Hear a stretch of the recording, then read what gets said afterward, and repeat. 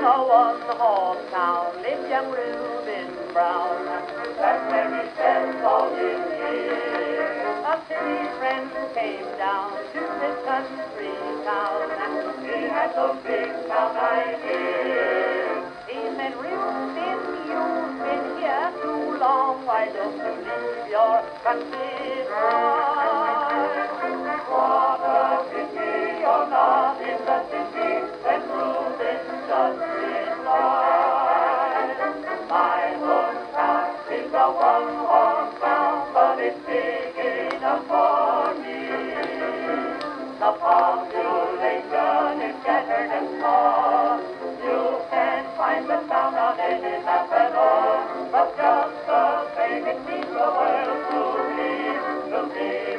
Mother and my family.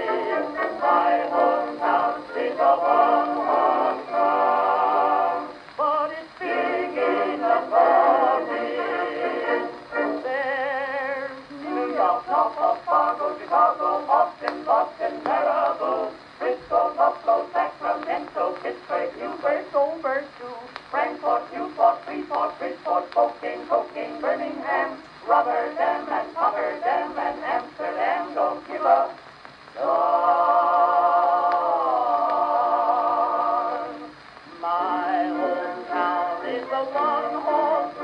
but it's big enough for me.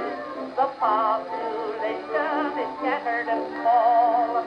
You can't find the town on any map at all. But just the same, it means the world to me to be with mother and my family.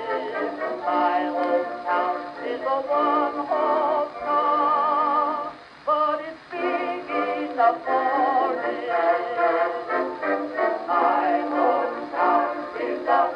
your hunky-dory town, but it's big enough for you can have a lot of sports, you learn about your donkey from the population. The pension taken that is very small.